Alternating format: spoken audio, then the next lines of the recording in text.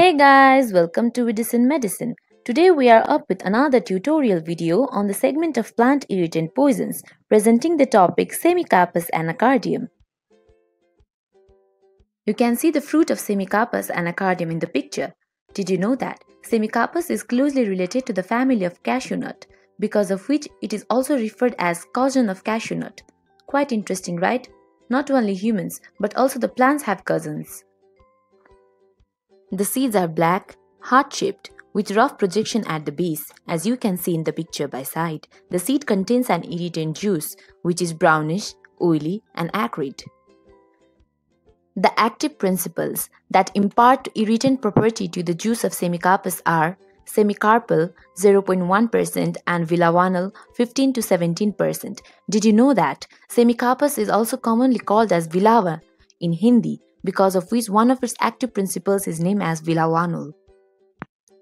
The fatal dose for semecarpus is about 5 to 10 grams, whereas the fatal period is about 12 to 24 hours. We have discussed about fatal dose and fatal period in our earlier video of Ricinus communis. So, here are the signs and symptoms of semecarpus poisoning. As we have discussed earlier that the juice of semecarpus possesses irritant property, the resultant signs and symptoms due to application of juice on skin would be irritation and painful blisters. If the juice is ingested, then symptoms like fever, painful micturition with brown color urine appears. Occasionally, tachycardia, coma and death can occur, but it is quite rare. The treatment for semecarpus poisoning would be A. Gastric lavage B. Demulcent to soothe or relieve inflammation or irritation. Similarly, external washing of skin with lukewarm water containing antiseptic could be done to relieve painful blisters or inflammation on the skin.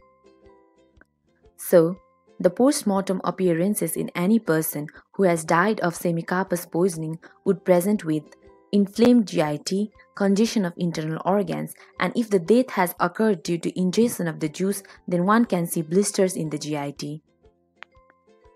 So what's the medico-legal importance of semecarpus poisoning? The poisoning could be accidental due to ingestion of juice under the advice of quacks. However, it is rarely homicidal or suicidal.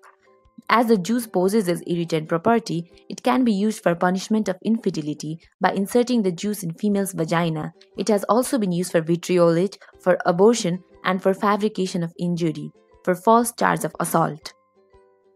Did you know that semecarpus is also commonly known as marking nut, as its juice is used by washermen to put mark on clothes for identification? See, the washerman has semecarpus anacardium, whose juice is quite poisonous, so don't underestimate the power of a common washerman. So, here we are at the end of our tutorial video. We hope we could help you a bit. If you have any queries, any suggestions, drop them in comment section below.